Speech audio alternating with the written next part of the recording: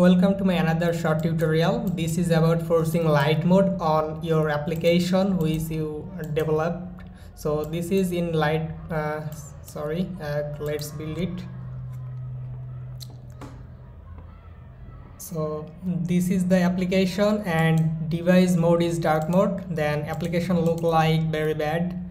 Uh, let's turn back into light mode device then app look like good. So when we turn on uh, dark mode in device then application affected and not looking good. So we have to force in application staying uh, light mode even device uh, dark mode. So go to resource then go to values then go to themes.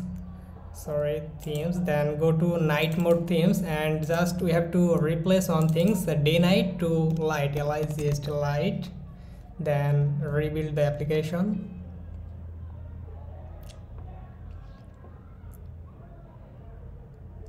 Now it's look like good. Even device has dark mode but application is forced to light mode always. No matter even uh, device dark mode or white mode. So let's see.